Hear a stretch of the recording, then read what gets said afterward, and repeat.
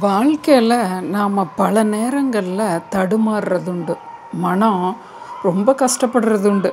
அது குடும்பத்துலேயோ வேலை செய்கிற இடத்துலையோ உறவுக்காரர்களாலேயோ மனம் காயப்படும் பொழுது நமக்காக ஆறுதல் சொல்கிறதுக்கு பல மனங்கள் நம்ம நோக்கி வரும். ஆறுதலாக நமக்கு அந்த காயங்களுக்கு மருந்து போட அந்த ஆறுதல் தரக்கூடிய மனிதர்கள்லையுமே நாம் ஆராய்ஞ்சு பார்க்கணும். அதுலேயும் நாம் ஏமாந்துடக்கூடாது இது வந்து ஒரு வாழ்வியல் தத்துவம்.